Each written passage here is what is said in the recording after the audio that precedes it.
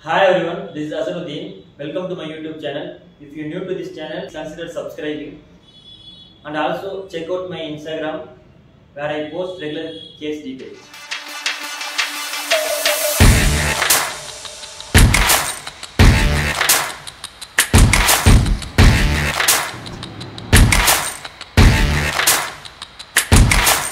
Welcome to the scientific series of muscles. I'm going to start with uh, gluteus maximus. Why this muscle called gluteus maximus? Because it present over gluteal region and it one of the largest muscle over that region. So it called gluteus maximus. Attachments proximally it attach over the posterior iliac crest and posterolateral sacrum and coccygeus. Distally it attached over the iliotibial band and ischial tuberosity. Next, functions. Functions I am going to divide it into two parts. Standard mover action and reverse mover action. Standard mover action means with muscle fibers are moving towards insertion to origin. Reverse mover action means muscle fibers are moving towards origin to insertion. First I am going to explain the standard mover actions. First primary action is gluteus maximus helps to extend the hip because muscle fibers are running somewhat vertical oriented direction. So if we pull this muscle fiber it helps to extend the femur at the thigh. Second action is lateral rotation.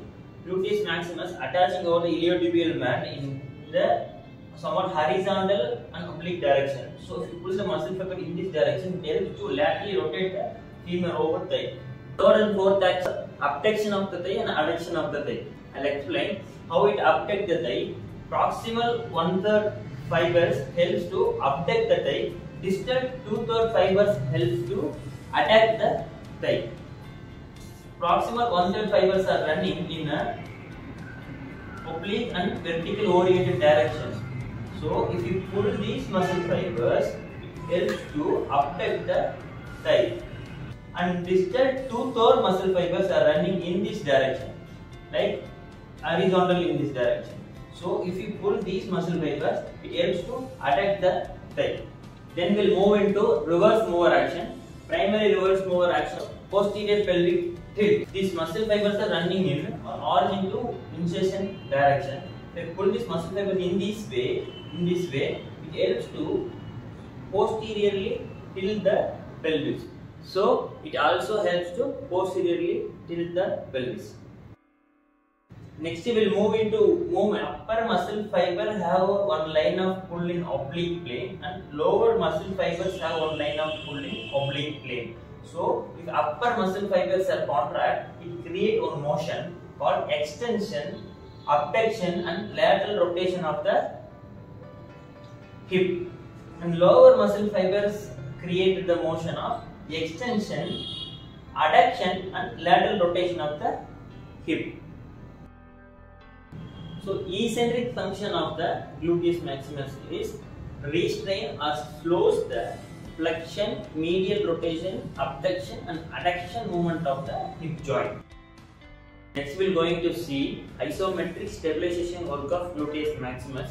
Primarily it stabilizes the pelvis and thigh at the hip joint and also it stabilizes the knee joint. Gluteus maximus and tensor fascia lata both muscles attaching over the iliotibial band iliotibial band crossing the knee anteriorly. So theoretically it have to extend the knee. Fascia lata and gluteus maximus attached over the IT band, IT band crossing the knee anteriorly. So it helps to IT band helps to stabilize the joint anteriorly with the help of these two muscles.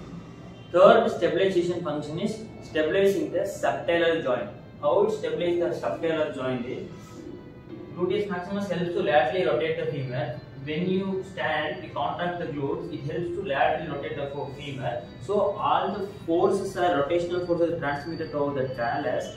Talus transmitted the force to the subtalar joint helps to supinate the foot.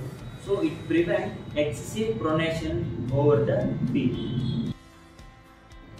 Additional action is glutes maximus also helps to horizontally abduct the hip if hip is flexed 90 degree, if horizontal pull happen in the glute maximus muscle, it helps to horizontally abduct the hip. and also theoretically it can extend the knee because it connected over the iliotibial band, iliotibial band crossing knee anteriorly. So those connections helps to extend the knee. Relationship to the other structures, gluteus maximus is superficial in the posterior pelvis, so it covers the gluteus medius, minimus, superior gemelli, inferior gemelli, piriformis and ischial tuberosity, quadratus femoris, so many deep muscles it covering by so many deep muscles. And gluteus maximus attached to the thoracolumbar fascia and forming the posterior oblique myofascial line. We'll talk about these myofascial lines in future videos.